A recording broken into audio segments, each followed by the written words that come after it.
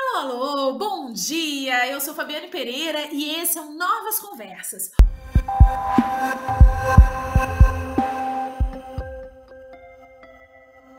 Sejam muito bem-vindos, sejam muito bem-vindas a esse quadro que busca sempre ampliar as trocas, democratizar o conhecimento, debater pautas importantes e prestar um serviço. Afinal de contas, somos comunicadores, estamos no rádio, estamos na maior rede de promoção de música brasileira do rádio no Brasil e esse é o nosso dever. Essa semana a gente está falando sobre os festivais de música. Graças à vacinação, a gente conseguiu retomar os eventos. A maior parte da população brasileira já está vacinada e a gente já está voltando aos poucos a se aglomerar, a assistir shows e a assistir festivais. Os festivais voltaram com força total e esses eventos atraem milhares de pessoas, movimentam a economia, geram receitas e, mais importante do que tudo isso, promove e muito a cadeia produtiva da música.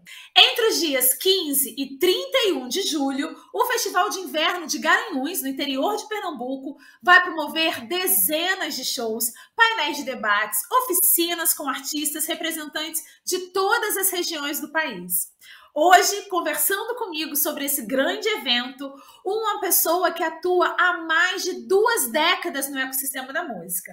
Uma pessoa, minha amiga de fé, irmã camarada, André Brasileiro. Ele também é coordenador geral do FIG, Festival de Inverno de Garanhuns. André, seja muito bem-vindo, tudo bem? Tudo bem, boa tarde, Fabi Pereira, que também é uma batalhadora do setor, do, do setor da música que é um setor muito importante para a gente. Boa tarde, ouvintes da Nova Brasil FM, uma rádio tão importante para a música brasileira.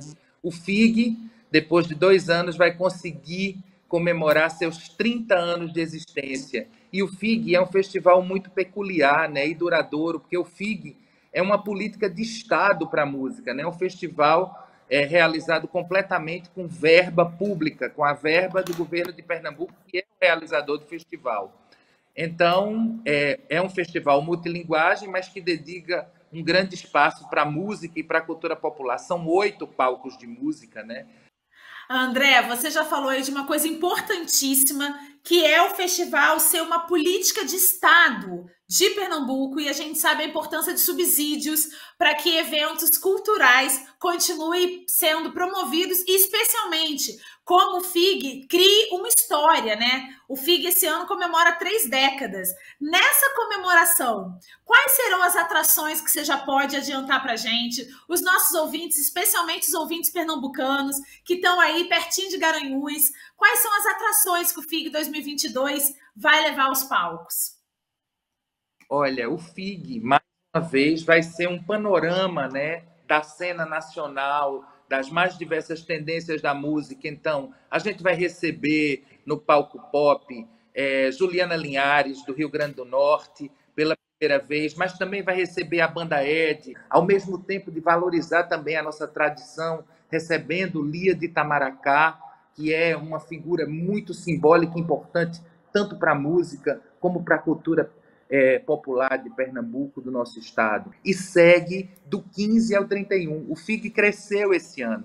A gente entendeu que era ano de a gente celebrar a nossa volta, celebrar a retomada das atividades culturais. O FIG geralmente acontecia em 11 dias, são 17 dias de programação. Abrimos um novo espaço para música, todas as atividades são gratuitas, tanto na rua, como nos teatros, como no circo, como nas artes visuais, tanto no audiovisual e toda a programação musical também. A pessoa pode acessar facilmente toda essa programação.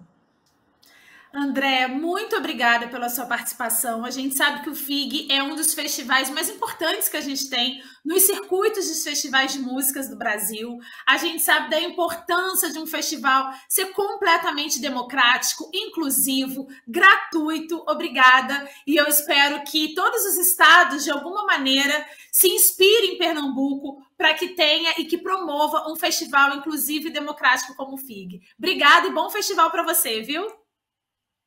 Obrigado a vocês pelo espaço que tocam esses artistas brasileiros que vão estar na nossa programação. É muito importante uma rádio que só toca a música feita no Brasil, a música dos nossos artistas. Isso realmente nos estimula cada vez mais. Muito obrigado também a vocês por esse espaço. Amanhã eu volto aqui no Nova Manhã, no quadro Novas Conversas, para falar mais um pouquinho sobre os festivais de música no Brasil que estão espalhados por vários palcos. Até amanhã. Tchau, tchau.